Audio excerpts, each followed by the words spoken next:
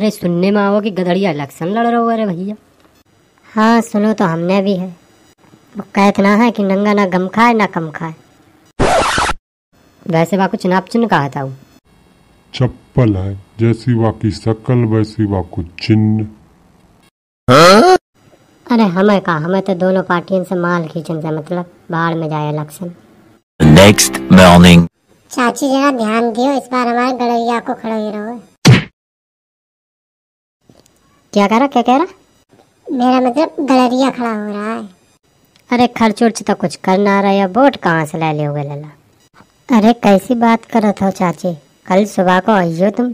देखो सबको चांदी की जेवरी दे रहा हूँ मैं। हाँ हाँ देखते हैं दोगे या ना दोगे The next morning. मैं गदड़िया हथियारपुर का प्रत्याशी जिसका चुनाव चिन्ह चप्पल है चप्पल।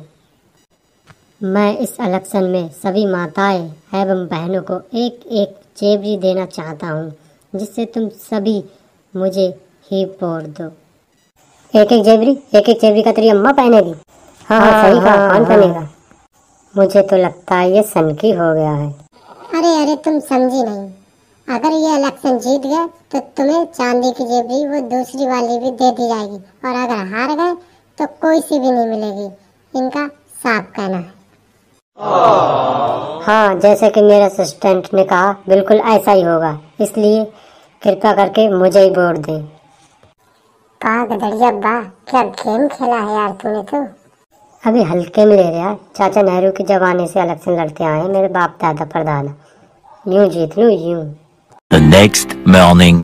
चल इन्हें मिठाई दे दे जल्दी से। इन्हें मिठाई दे भाभी जी को। वाह अबे भूतनी के क्या कह रहे थे? सुनाई ना दे रही है। दे रहा दे रहा दे रहा वो गलती से उधर उधर साले देख रहा मैं तेरी गलती तेरा ध्यान किधर है? रुक जाओ कोई कुछ नहीं लेगा। बेटा जो मेरी गली और जा मैं तू कदम भी ना रख सकत है और तू हिन बाट ना हुए साले यही धक्का मारेंगे। का करो का करो कुछ ना बरसे साले जो मेरो गाँव है तेरे गाँव और जो मैंने आवाज़ बक रहा खाड़ मिला तो खाड़े में मेरे का खाड़ा अच्छा तू ऐसे ना माने को। समझानी पड़ा है तेला बढ़िया तरीका से। ओ चंगू जरा समझाओ राम लेके आइए।